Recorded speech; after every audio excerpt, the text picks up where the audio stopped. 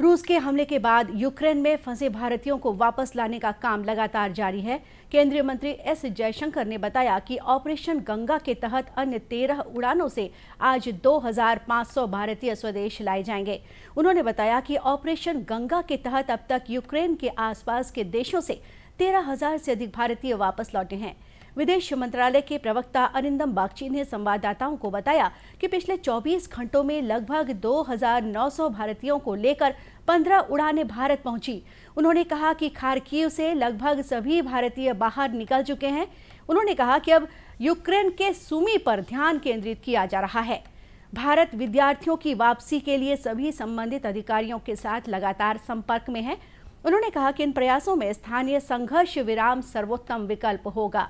भारत ने रूस और यूक्रेन दोनों से भारतीय विद्यार्थियों की सुरक्षित वापसी के लिए स्थानीय संघर्ष विराम लागू करने का आग्रह किया है। यूक्रेन में भारतीय दूतावास ने बताया कि पिशोचिन से सभी भारतीय सुरक्षित निकल चुके हैं और दूतावास उनसे लगातार संपर्क में है। दूतावास ने एक ट्वीट में कहा है कि अपने नागरिकों की सुरक्षित वापसी भारत की प्राथमिकता है।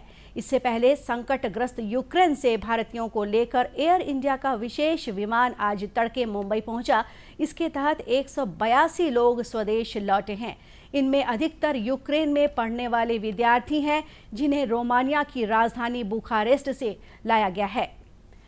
इधर यूक्रेन में भारतीय दूतावास ने वहाँ मौजूद सभी भारतीय छात्रों के लिए एडवाइजरी जारी की है, जिसमें कहा गया है कि सभी विद्यार्थी गूगल फॉर्म के माध्यम से अपनी जानकारी दूतावास तक पहुँचा सकते हैं।